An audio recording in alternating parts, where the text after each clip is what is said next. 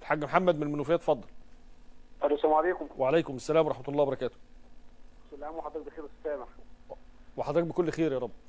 ويا رب يحفظ مصر وأهلها ورجال شرطتها وكل أهلها المخلصين. آمين يا رب. اللي بي...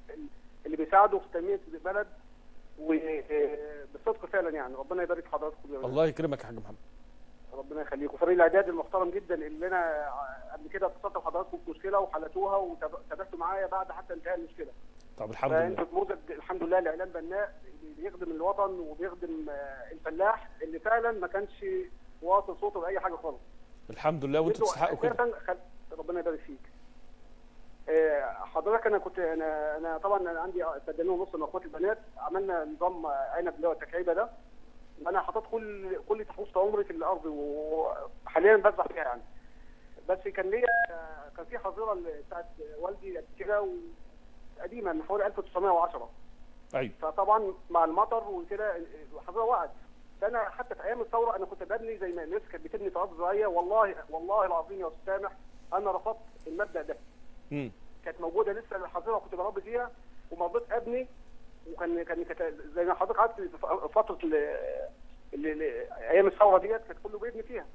والله ما رضيت وقلت أنا همشي همشي قانوني وكان الحمد لله الحظيره كانت كويسه حاليا الحظيره وقعت ومش لاقي مش لاقي مكان أحط فيه لمؤاخذه البهايم بتاعتي أو الحاجة بتاعت الأرض آه، أغراض الأرض كيماوي آه، العدة بتاعت يعني المعدات بتاعت الفلاح آه، اللي بزرع بيها الأرض.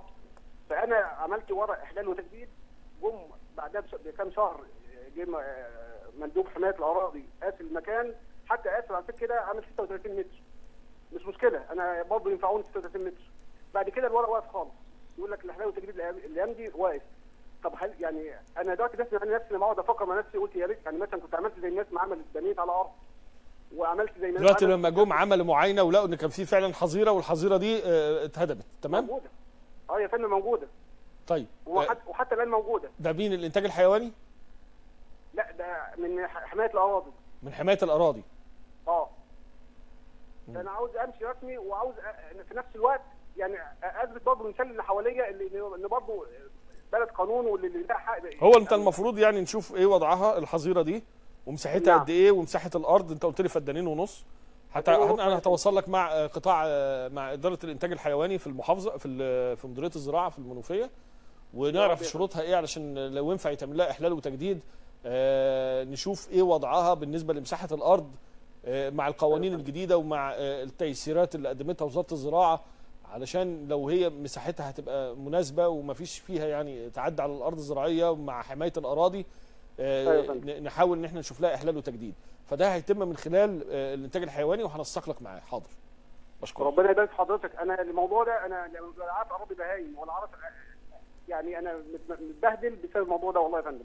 عينيا.